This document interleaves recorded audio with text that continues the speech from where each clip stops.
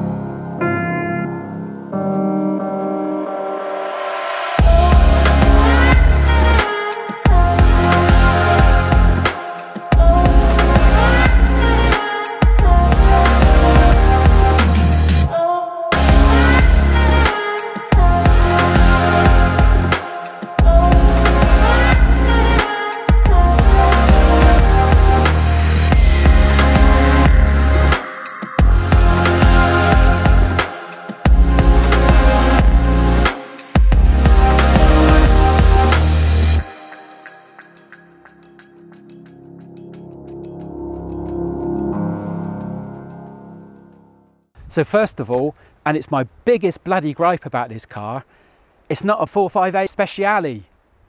Obviously I'm joking, but my, my, um, my normal viewers will know that I'm trying to, or would love to move into a 458 Speciale at some point.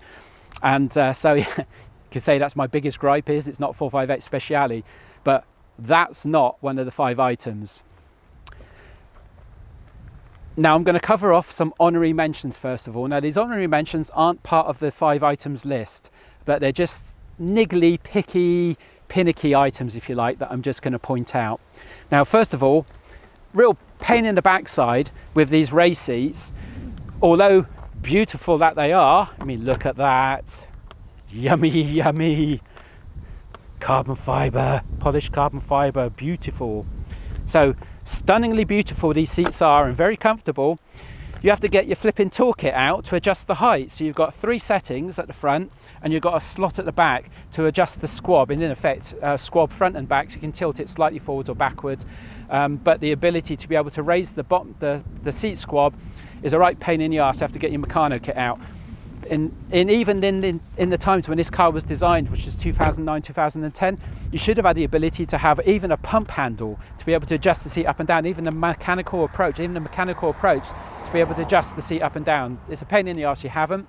Another honorary mention is the fact that the throttle take up is really aggressive. There's no cough option. Well, cough option, there's no cough there's no cough latency as they call it um, whereby um, if you, you know, there's, whereby there's a, there's a bit of slack in the, in the throttle. Um, as soon as you touch the throttle, it picks up straight away.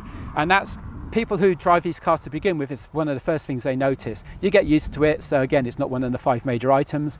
Another um, honorary mention is the fact that there's no um, exhibition glass cover or there's no exhibition glass on the rear engine cover as, as there is on the 458 Italia. Now, I understand the reason why before everybody comments, and the reason being is because the hood is stowed behind this section. If you had an inspection cover, as you can, if you change this engine cover with the Capristo engine cover, then all you see is the tail end of the engine and the, and the filter covers and the, and the um, air filter. You don't really see the actual engine itself because the engine is, is up here. Um, and of course, if they put a display section in here, display panel in here, all you're going to see is the roof because the roof is folded down behind these rear buttresses. Um, so I understand why. The Capristo engine cover just shows you a small section of the of the engine. And it isn't really the engine you know. The engine um, plenums which is the bit you want to see are located around here. So that's just another niggling problem. My last honorary mention which again is a pinicky thing. For me i know people love the design of this car and i absolutely think this car is beautiful and stunning. The only thing that I would change and that I really think is, is beneficial on the 458 Speciale is the front design. I don't actually like the design of these winglets and they changed it for all downstream Ferraris. Now I understand that they're functional and they add downforce on the front of the car, but I actually substantially prefer the 458 Speciale front of the car. So that's one of my other niggling items and that is the last niggly items. Now those are really picky, pinicky items. They're not part of the list. They're just honorary mentions if you like. So we've covered those off now. Now to get onto the meat and potatoes of the key items that really, really annoy me. So the first item, and this is a real gripe, and my viewers, my regular viewers will know that this has been a standard gripe and is a well-known gripe for, for these 458 Ferraris and actually for all early Ferraris of this ilk, so the 458, 488, and possibly even the F8 because uh, it was partly resolved in the F8 but not fully. What am I talking about? I'm talking about the interface to the 458 and downstream cars, but specifically the 458, the interface to the 458 infotainment system and sat nav system. Now, the way how you connect or the, now the way how you access the sat nav and infotainment system is with these three top buttons and this joystick. These top buttons have dual controls, so they have two options, two functions. You have to long press, long hold them, or single press them, or quick press them, short press them, whichever way you want to call it. Real nightmare, real pain in the ass. For example, if you want to input your destination in the sat nav, then you have to input the postcode separately via using the joystick, juggling through all the different letters. It's supposed to connect to your iPhone for for um, contacts etc and it sort of does but it, it doesn't. It doesn't really enable the connectivity through there. It should automatically take your home option in the in the sat nav system. It doesn't um, it's a real ball like a real pain in the ass. Um, to overcome the infotainment system, the access to the infotainment system, what people generally do is they use what's called a Bovie 100 or an Invery AirDual 100. Now, an Invery AirDual 100 is actually got updated firmware, so that's a better option. So purchase the Invery AirDual 100 in, as opposed to the Bovie 100. Now, what they do is they plug that into the 30-pin iPod connector in the glove box and that enables you to stream uh, via Bluetooth to your to your infotainment system without going through all this hassle through this interface. You still have to go in and select the iPod tab in the infotainment system, but you then don't have to go through all the just pinicky options. You just use your iPhone and just select item through that, or you can use the buttons on the rear of the steering wheel. So that is a lot better. So number one on my item is the interface to the 458 infotainment system. Now the second item, and again a well-known item for viewers of my channel, second item is lack of proper coffee cup storage in the car. You've got one slot, there's, there's two that show there, but one is like the depth of about two inches, which is no good to man nor beast. Maybe you'd put in there your tracker fob in that front section. That's about all it's good for really, or your keys or whatever, but you wouldn't want your keys jungling around in your, in your center console. But the, the, the coffee cup the coffee cup section behind that front section is quite deep and will hold a coffee cup. But you can't get a large coffee cup in and out of there because you're you've got the impingement of the climate control system. So if you do put a large cup in there you're into this situation of perceivably driving the car and you're trying to get the coffee cup out. And of course you're going to spill the coffee all over the flipping console all over the carpet all over your trousers look like you peed yourself. Yeah, it's not a good look guys. So so my second gripe is the lack of proper coffee cup, coffee cup storage. Number three on my gripes item is these seat bolsters, the Squab seat bolsters. Now, again, it's part of the functionality of the race seats. They hold you really well and they're really comfortable. I find even with long distance driving or fairly long distance driving, say a few hundred miles, I find these seats to be very comfortable. You know, they're brilliant apart from the situation I've already mentioned in my honorary mentions.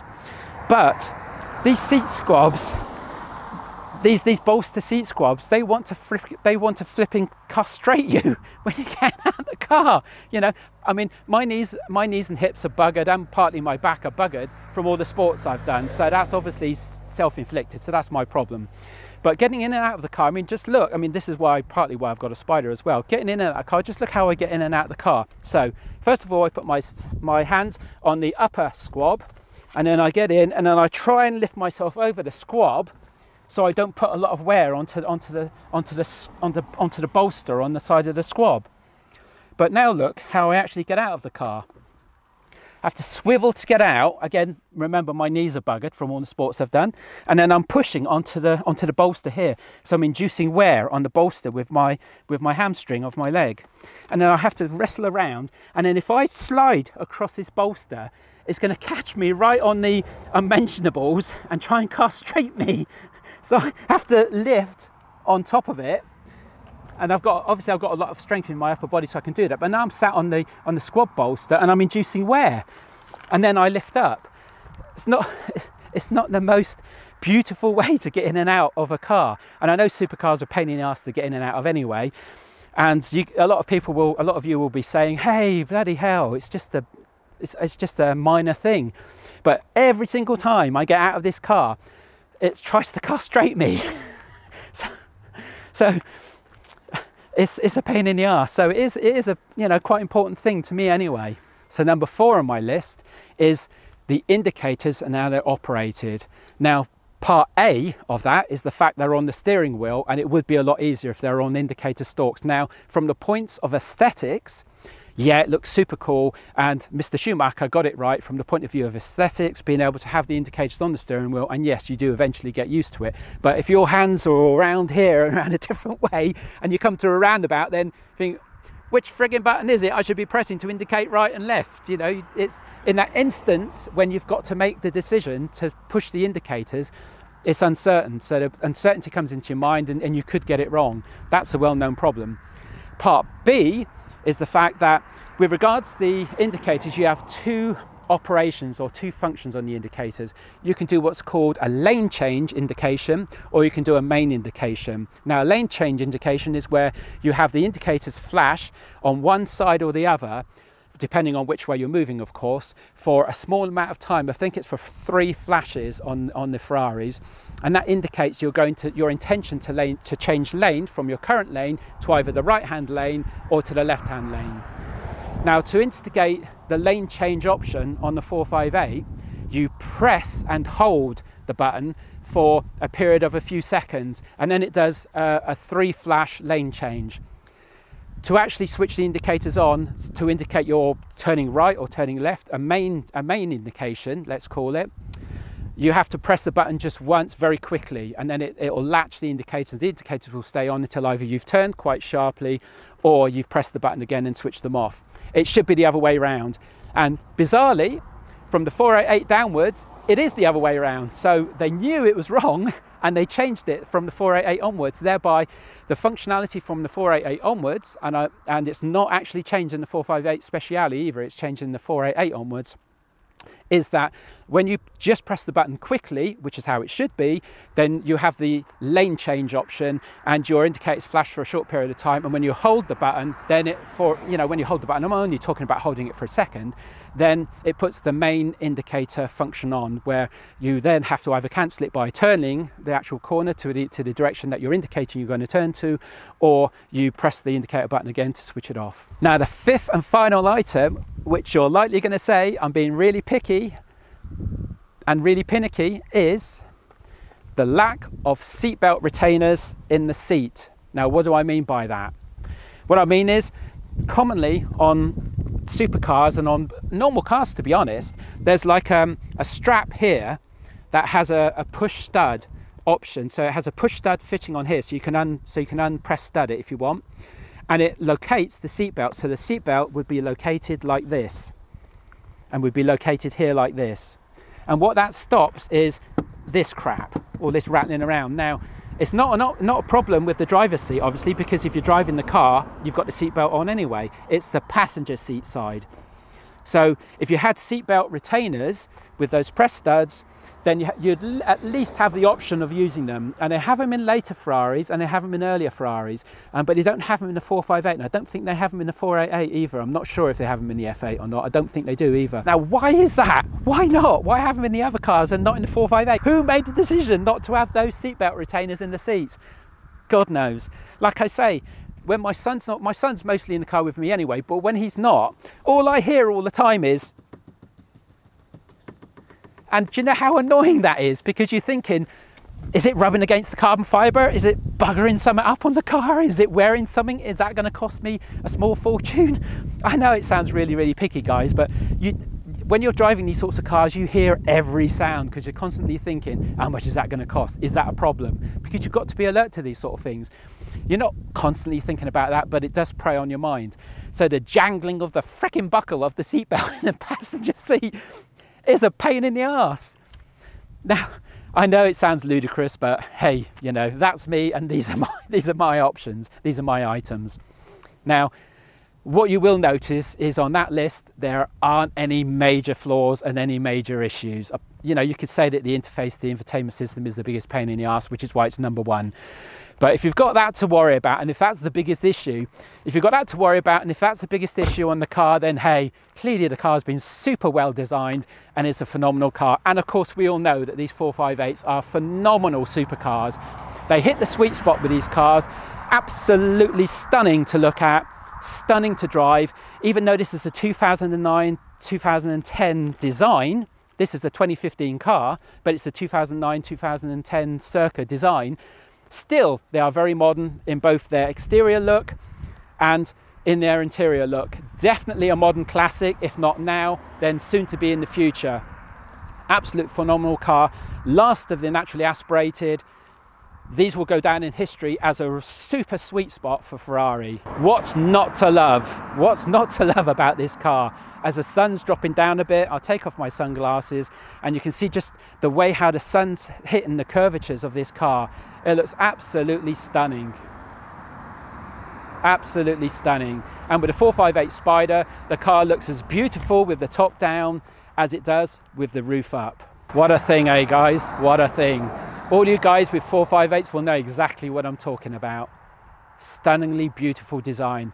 Pininfarina got it absolutely right. Beautiful car.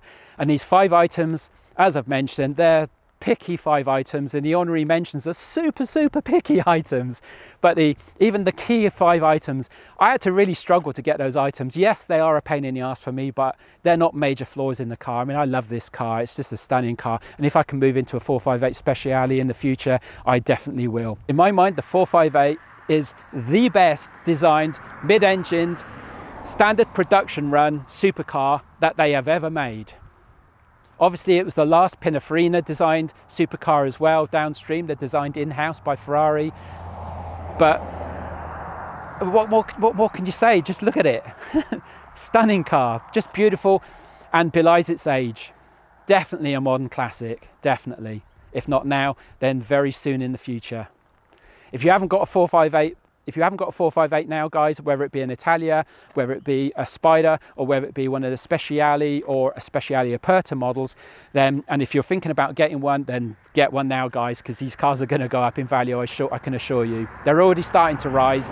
They are just going to go one way. They're going to go higher in value um, because everybody's going to be seeking these out, especially with the situation we've got moving across and away from ICE cars into, into full-on electric, hybrids and full-on electrics, which is how it's going at the moment. Hope you've enjoyed the video, guys. Thanks a lot for watching the channel and thanks a lot for my loyal subscribers and my loyal viewers. If you're not subscribed, then please think about subscribing. It's really important to our channel. We are really going to move this channel to upper leagues and going to try and make it one of the biggest supercar channels in the UK, if not in the world. Um, so this is very important for us. Please, if you're not subscribed, then please think about subscribing. Thanks a lot for watching the channel, guys, and thanks a lot for watching this video. If you like the video, then please give it a thumbs up, give it a like. Lots of great content to come. We've got the Emira content to come soon. We've got more content on the 458 as well. Shed loads on the Emira to come in the future. Thanks a lot for watching, and we'll catch you in the next video. So as an addendum to the video, we popped into Marlborough for a coffee and when we when we were stopped there, when we stopped there and parked up, there was a Lamborghini STO and a 488 Spider that were parked up on the side right out of Nero's. Absolutely phenomenal. Marlborough is the sort of place that attracts those sort of cars, hence one of the reasons why we drive there and park there and do a lot of filming around Marlborough because it's a cool place to film and because people and because people really love the car there as well. But um, it was really cool to see an STO there and a 488, predominantly the STO. The STO looked really cool. As you can see here, the, the livery on the car and the, the, the options, the specification of the car is phenomenal. Um, maybe one of those cars you can't live with when you hear about the other YouTubers, especially Shmee150 and his issues. Although he loved the, loves the STO, it's a bit hard on the back, and I think it's pretty much a track day car but it looked absolutely stunning when we saw it and it's one of those cars I think that you really have to see it close up. But uh, yeah beautiful beautiful and to see those two cars parked together outside Nero's was pretty cool. We parked just just up from it. You can't see it in these pictures but we parked just up from it so yeah quite cool to see all those cars three supercars in Marlborough parked right next to each other in one go. Pretty cool